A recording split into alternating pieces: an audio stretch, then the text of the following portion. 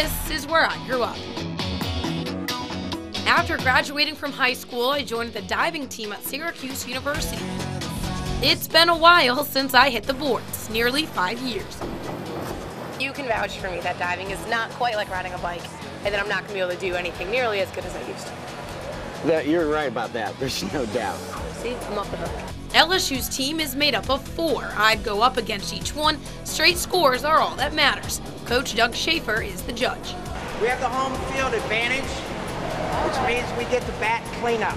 Inwards first, I do a dive. Oh, not too bad, not too bad. Matt would do a one and a half. Eight. Three meter and back twisters next. Brian would do a back one and a half with two and a half twists. The door could be open. Okay, I'm going to see that, and I'm going to drop it two twists. I tried working my way into a deal. I'll give you a five-year practice one, but if you don't take a practice one, I'm not going to give you a mulligan after the fact. But coach wasn't buying it. This is the one that counted. It was close. That was a little further over.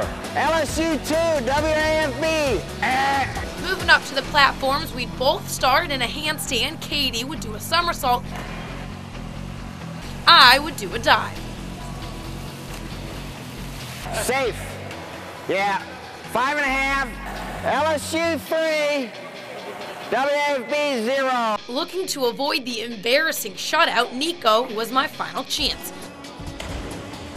I'd do a lineup, he'd do that, plus three. Straight up and down, a little bit loose on the entry. You know, it's kind of high up there. You got to watch out. You can land flat really easy.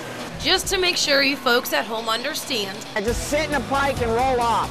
Exactly how high up this is, You're going to travel a lot. You'll continue to rotate. 10 meters is just shy of 33 feet. Tied to last one. You're pretty good. Not bad for a rookie anchor woman.